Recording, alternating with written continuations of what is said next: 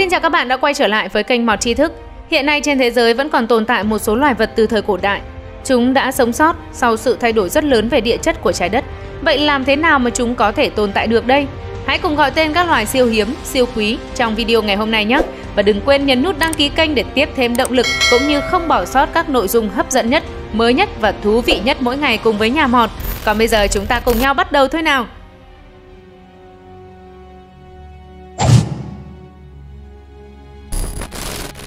Ta hãy cùng đến với loài sinh vật cổ đại đầu tiên vẫn còn sống đến ngày nay, đó là cá nhám mang xếp.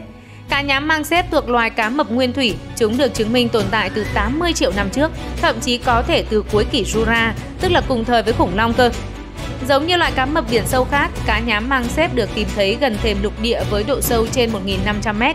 Chúng có chiều dài khoảng 2m, cơ thể có màu nâu sẫm giống lươn, nhưng có 6 cặp khe mang giống loài cá mập thời tiền sử. Điều khó tin là chúng có tới 30 cái răng với hình dạng giống như chiếc đinh ba thu nhỏ và chúng có bộ mang khổng lồ với 6 chiếc chồng lên nhau, giống như là một chiếc áo diềm xếp nếp ở phía sau đầu của nó. Với thân hình đáng sợ và bộ hàm kinh dị như vậy thì cá nhám mang xếp là kẻ săn mồi rất tích cực. Chúng sẽ lập tức lao vào con mồi và nuốt trọn trong tích tắc. Và một điều thú vị nữa là sự sinh sản của loài cá này khá đặc biệt. Một lứa chúng đẻ từ 2 đến 15 con sau khi trải qua quá trình mang thai tới 3 năm rưỡi. Tiếp theo là rồng Komodo.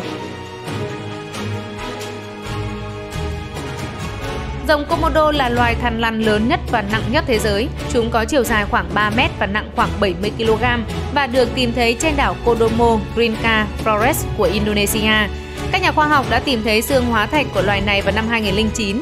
Họ cho rằng rồng Komodo có nguồn gốc ở Úc vào khoảng 4 triệu năm trước. Bên cạnh đó thì rồng Komodo có nọc độc, hai tuyến ở hàm dưới tiết ra một số protein độc được cho rằng là chất chống đông máu. Loại nọc này rất nhanh, gây sốc, gây giảm huyết áp và tê liệt thần kinh, khiến con mồi nhanh chóng mất máu mà chết. Rồng Komodo có đuôi dài bằng phần thân, răng cưa thì dài khoảng 2,5 cm. Cái lưỡi dài của chúng dùng để do tin, nếm hoặc là ngửi thức ăn. Da của rồng là các lớp vảy cứng, chứa những bộ xương nhỏ giống như là bộ áo giáp xích tự nhiên. Và điều bất ngờ là rồng Komodo có thể nhìn xa 300m và đôi khi là chúng cũng tấn công cả con người. Rồng Komodo đẻ trứng vào tháng 9, tối đa là 20 trứng một lứa. Rồng con dễ bị tổn thương nên thường trú ngụ trên cây. Chúng mất từ 8 đến 9 năm để trưởng thành và ước tính có thể sống đến 30 năm. Tiếp theo trong danh sách này cũng là một loài bò sát khổng lồ ở Trung Quốc đó là kỳ rông. Kỳ rông khổng lồ Trung Quốc có niên đại 170 triệu năm trước. Đây là loài kỳ rông lớn nhất thế giới, cũng là loài lưỡng cư lớn nhất, dài đến 180 cm. Chúng có đầu lớn, mắt nhỏ, da đen và nhăn nheo. Kỳ rông trưởng thành trung bình nặng từ 25 đến 30 kg, dài 1,15 m. Con cái đẻ trứng khoảng 400 đến 500 trứng và những quả trứng này sẽ được con đực bảo vệ trong từ 50 cho đến 60 ngày thì trứng nở. Thức ăn của kỳ rông là côn trùng, ếch nhái và cá. Điều đặc biệt là chúng có thị lực rất kém, phải phụ thuộc vào bướu, cảm giác chạy dọc cơ thể. Kỳ rông có thể phát ra âm thanh như tiếng sủa, tiếng rên rỉ hay là tiếng khóc. Chúng được xem là một món ăn tinh khiết, được sử dụng trong các bài thuốc cổ truyền Trung Quốc. Chính vì thế, kỳ rông được coi là loài cực kỳ nguy cấp cần được bảo vệ. Tiếp theo chúng ta cùng đến với loài động vật nữa đó là lợn vòi. Lợn vòi là động vật có vú ăn cỏ và đã xuất hiện khoảng 20 triệu năm trước với các dấu tích được tìm thấy ở Nam Mỹ. Chúng có kích cỡ lớn, ăn thực vật, hình dáng thì khá giống với con lợn, vòi ngắn. Có 4 loài lợn vòi được sinh tồn được công nhận. Chúng được xếp vào trong sách đỏ IUCN là loài có nguy cơ tuyệt chủng. Loài này có kích thước là khoảng 2 m, cao 1 m và nặng từ 150 cho đến 300 kg. Thức ăn của lợn vòi chủ yếu là các loài quả, lá cây, Chúng dành nhiều thời gian dầm mình trong nước, tìm nơi trú ẩn khỏi các kẻ thù cũng như làm mát cơ thể trong thời kỳ nóng bức. Lợn vòi còn biết bơi, biết lặn và khá nhút nhát, nhưng nếu khi hoảng sợ thì chúng có thể tấn công để bảo vệ bản thân mình. Tiếp đến là cua móng ngựa.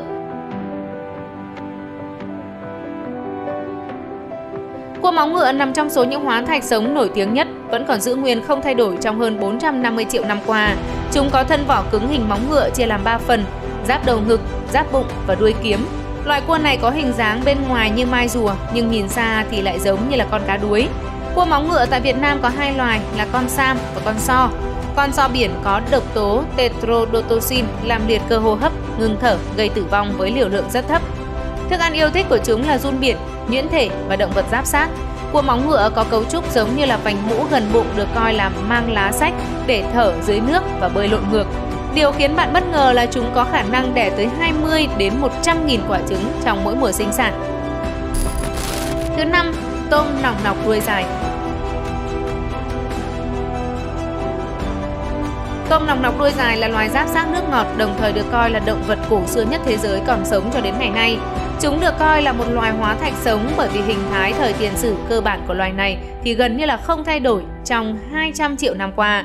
Theo các nhà khoa học thì tôm nòng nọc sống trong tự nhiên có thể phát triển chiều dài lên tới 10 cm và có vòng đời thật là khác thường.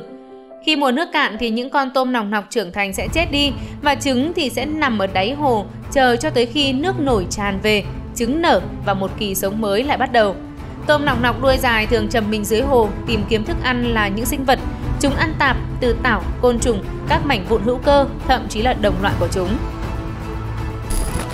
Thứ sáu, Thanh Lan Tuatara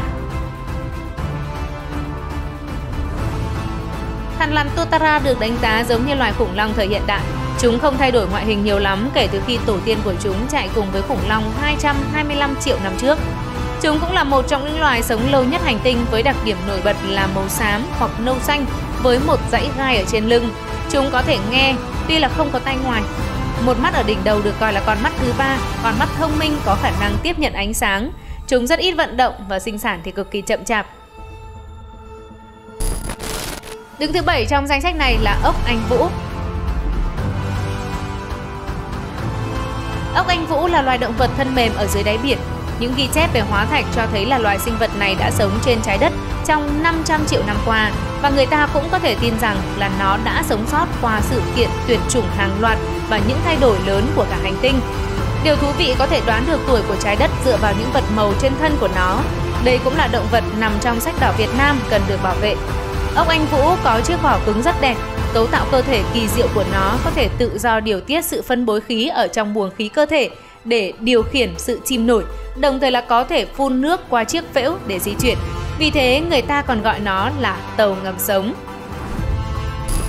Cuối cùng, thật là nhanh quá, chúng ta cùng đến với loài động vật tiếp theo trong danh sách này, đó là thú lông nhím.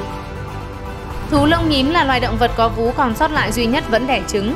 Các nghiên cứu khoa học cho thấy thú lông nhím bị tách khỏi thú mỏ vịt trong khoảng từ 48 cho đến 19 triệu năm trước.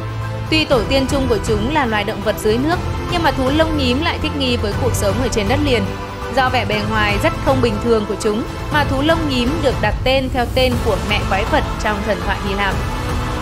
Các bạn thân mến, thật thú vị khi biết rằng có nhiều loài động vật từng sống cùng với khủng long và còn tồn tại đến tận bây giờ đúng không nào? Chúng là những loài hóa thạch sống lâu đời nhất. Điều đó cho thấy sự tiến hóa của động vật chỉ phụ thuộc vào điều kiện môi trường của trái đất. Hãy cho nhà mọt biết thêm những loài động vật cổ xưa còn tồn tại đến ngày nay bằng hình thức bình luận dưới video các bạn nhé. Đừng quên like, share và ấn nút đăng ký để tiếp tục theo dõi các video sau của chúng mình. Và bây giờ thì xin chào và hẹn gặp lại.